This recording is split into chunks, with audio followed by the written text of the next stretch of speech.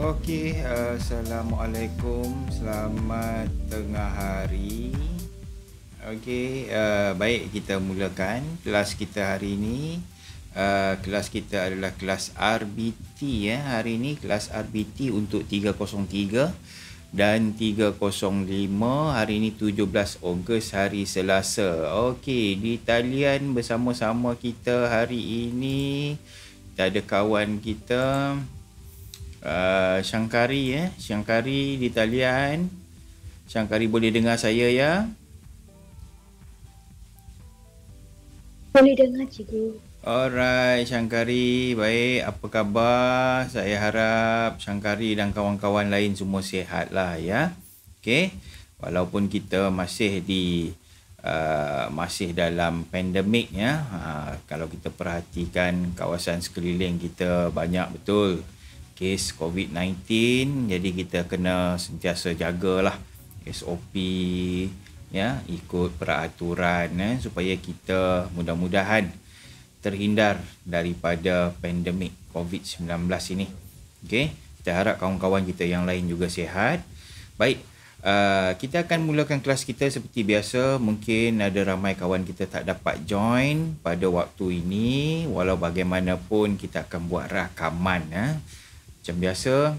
Jadi kawan-kawan kita yang tak boleh join insya-Allah nanti mengikut bila mereka ada kelapangan mereka boleh tonton semulalah video di YouTube eh supaya mereka boleh ikut kelas kita. Baik.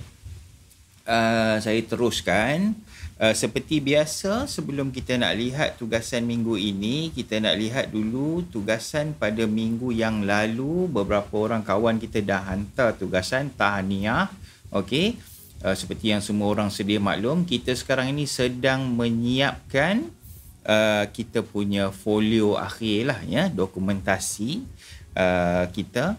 Jadi uh, setiap minggu kita akan buat beberapa muka surat ya kita kompilasikan supaya kita punya dokumentasi projek akhir kita uh, dapat disiapkan ya. Semua orang dapat siapkan kerana inilah akan menentukan markah uh, PBD RBT kita seterusnya uh, mungkin markah PT3 kita lah ya. Uh, jadi kita kena buat elok-elok, kita buat cantik-cantik.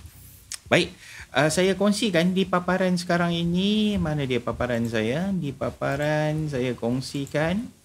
Okey, ini adalah tugasan beberapa orang kawan kita dah hantar. Yang pertama Syangkari, ha, Syangkari pun ada di talian. Saya dah terima tugasan Syangkari. Ini dia tugasan minggu sebelum ini ya minggu lalu kita cuti uh, umum eh uh, minggu sebelum itu okey? 2.0 ini dia Syangkari punya tugasan. Baik saya dah terima.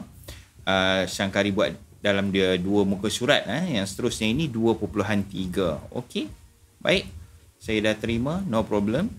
Okey uh, seterusnya satu orang lagi kawan kita yang dah hantar tugasan adalah Bavitra nampaknya Bavitra tak dapat bersama-sama kita lagi Okey, tetapi ini tugasan Bavitra. Okey, dia dah hantar 2.0, 2.1, 2.2, 2.3. Okey, tahniah. Dan terima kasih Bavitra dan Syangkari dah selesai uh, sampai 2.3 tugasan kita yang sebelum ini. Baik, kawan-kawan lain yang belum hantar boleh berbuat demikian selesaikan tugasan tolong hantar tugasan pada pautan yang saya dah sediakan Okey, jangan sampai tak buat langsung. Dia akan bagi kesan kepada markah kamu secara keseluruhan nanti. Memandangkan inilah projek terakhir kita. Uh, sebenarnya mudah sahaja untuk kita dapatkan markah. Ikuti kelas PDPR saya setiap minggu. Kita buat sedikit demi sedikit. Okey.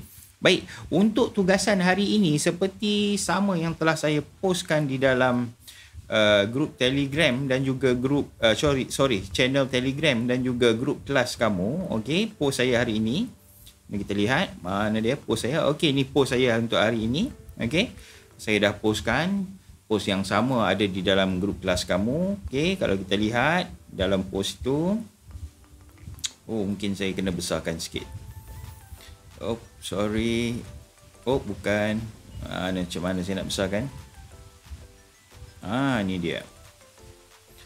Okey, sekejap saya besarkan eh. Okey, ini postnya. Okey, kelas kita uh, semua link dah ada dekat situ. Okey, arahannya pun dah lengkap ada. Okey, uh, dan uh, kita punya tugasan kita di bawah itu hari untuk hari ini saya sediakan dua muka surat ya. Dua muka surat kita kena kena buat iaitu 2.6 kekuatan dan kelemahan teknologi dan satu lagi 3.0 oh kurang jelas juga dekat sini ya. Okey sekejap nanti saya tukar paparan ni. Bagi jelas sikit. Okey ini dia. Sorry 2.6 ah ni kita nak buat hari ni ya 2.6 kekuatan dan kelemahan teknologi dia dalam bentuk jadual. Uh, untuk Shankari dan Bavitra sebab tajuknya sama macam saya okey jadi tak ada masalah boleh ikut sahajalah contoh yang saya berikan ini. Kalau ada kawan-kawan yang buat tajuk yang berbeza uh, kita kena tentukan aplikasi bagi setiap satu komponen komponen yang akan kamu gunakan di dalam projek kamu. Okey untuk Bavitra dan Shankari saya rasa tak ada masalah inilah kan ikut sajalah. Okey jadi uh, kita tengok eh dia pecahkan komponen itu kepada setiap satu komponen dan dia nyatakan kekuatan dan kelemahan dia. Uh, jadi jadual ini yang saya nak kamu buat. Kalau kita perhatikan teknologi reka bentuk elektrik kita ada plug 3 pin 13 ampere dan juga litar siri jadi plug 3 pin 13 ampere untuk menyalurkan voltan, litar siri pula untuk sambungan litar mudah dan ringkas. Ha, dimaklumkan kepada kita begitu. Okey, bagi teknologi reka bentuk elektronik pula sebab kita gabung dua ni kan, elektrik dengan elektronik. Bagi teknologi reka bentuk elektronik pula kita ada beberapa komponen. Yang pertama kita ada penderia inframerah untuk mengesan kehadiran objek, kelebihan dia. Kelemahan dia jarak pengesanan adalah terhad. Dia boleh kesan tetapi bukanlah objek yang terlampau jauh. Ha, tidak, dah hampir sedikit baru dia boleh kesan. Itu ada sikit kelemahan dia lah inframerah. Baik yang kedua mikro pengawal. Okey, supaya kita dapat memberi keupayaan pengatur caraan kepada lampu kita itu. Ha, lampu kita ingat tak kita nak buat lampu kita itu pada asalnya lampu kita itu dia tak boleh nak kawal. Uh, sebab dia tak bijak. Jadi kita masukkan mikro pengawal supaya dia jadi bijak. Dia dapat memproses pengatur caraan. Kita bagi pengatur caraan pada dia. Dia boleh faham dan laksanakan arahan. Okey, kelemahan dia apa? Dia memerlukan tenaga elektrik arus terus ataupun tenaga daripada bateri bernilai 9 volt. Ya, dia mesti gunakan bateri. Okey, komponen seterusnya kita ada geganti. Geganti sebagai Swiss di antara komponen elektronik dan juga sambungan elektrik 240 volt kita. Okey, seterusnya kita ada mentol LED untuk pencahayaan lampu kita. Akhir sekali kita ada bateri untuk membekalkan tenaga kepada mikro pengawal. Ha, so saya nak jadual ini, jadual 2.6 ini di dalam dokumentasi kamu. Okey, seterusnya satu helai lagi ini muka surat pertama, muka surat kedua sikit saja iaitu perancangan konsep. Di sini 3.1 kita menerangkan berkenaan dengan konsep reka bentuk yang akan kita gunakan di dalam projek kita. Dia bagi tahu di sini, saya telah memilih konsep mengikut fungsi kerana ini merupakan konsep yang dipersetujui oleh pelanggan semasa perbincangan dengan projek brief. Okey, kita kita dah buat projek brief, kita ambil maklumat daripada situ. Seterusnya, elemen reka bentuk yang kita gunakan adalah Lakaran, pada lakaran adalah garisan bentuk dan rupa. Okey, kita tak lakar lagi. Kita akan start melakar pada kelas berikutnya. Ha, so, kena ready untuk lakaran kelas akan datang. Akhir sekali, prinsip reka bentuk yang digunakan adalah ialah keringkasan. So, kita gunakan prinsip reka bentuk keringkasan dalam lakaran kita. Okey, cerita lebih lanjut berkenaan dengan lakaran pada kelas akan datang. Minggu hadapan kita akan mula membuat lakaran. Oleh yang demikian, semestinya kamu memerlukan pensel dan pemadam lah ya untuk melakar. Kita nak start lukis pada minggu hadapan. Banyak lukisan kita kena buat, banyak lakaran kita kena buat uh, berkenaan dengan reka bentuk kita ini. Okey, kita akan buat sama-sama, kita akan buat sedikit demi sedikit. Baik, jadi sekali lagi kalau saya boleh recap tugasan hari ini dua muka surat sahaja. Okey, mana dia? Ah, okey, dua muka surat saja. Muka surat pertama adalah 2.6 Ini muka surat pertama 2.6. Okey, jadual ini saya nak kamu salin di dalam dokumentasi kamu. Kemudian muka surat kedua 3.0 dan 3.1. Uh, satu perenggan saja ya, sikit saja. Okey. Ini muka surat kedua. Baik, sangat ringkas tugasan kita pada minggu ini. Okey. Jadi kita buat itu uh, seperti yang saya maklumkan tadi.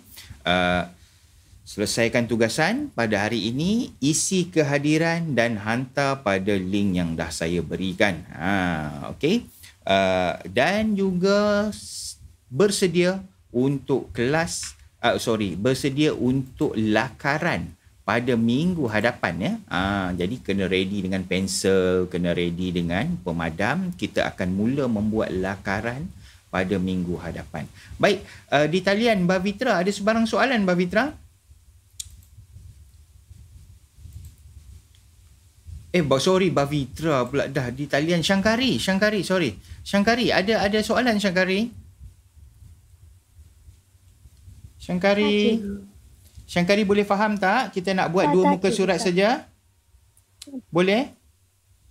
Ah, boleh faham, cikgu. Okey, dua muka surat saja Shankari, ya. Uh, 2.6 dengan 3.0, 3.1 settlekan itu hantar macam biasa macam Shankari hantar nanti saya akan kompilasikan di dalam uh, Shankari punya ni uh, ni tugasan Shankari okey daripada awal saya dah kumpul dah ni banyak ni okey uh, daripada awal saya dah kumpulkan Shankari punya. Jadi uh, minggu ni punya tugasan saya akan sambung di bawah ni lah ya. Uh, 2.6 dan 3.0 okey boleh?